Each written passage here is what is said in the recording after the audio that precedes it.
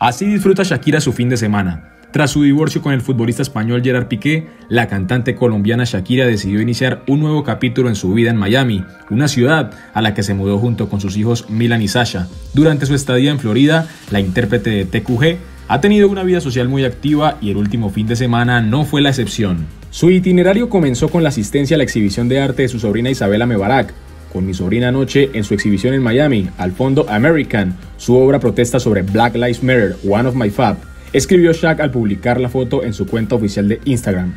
Posteriormente se reencontró con Bizarrap y disipó los rumores sobre una presunta diferencia entre ambos debido a que en un concierto el productor argentino habría pedido que no se coreara la parte de Shakira en la sesión número 53. En el encuentro también participó el rapero argentino Mauro Ezequiel Lombardo, conocido musicalmente como Duki.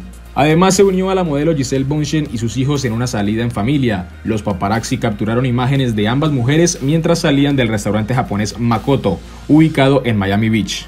Su fin de semana cerró con broche de oro acudiendo al juego entre Miami Heat y los Boston Celtics correspondiente a la final de conferencia de la NBA.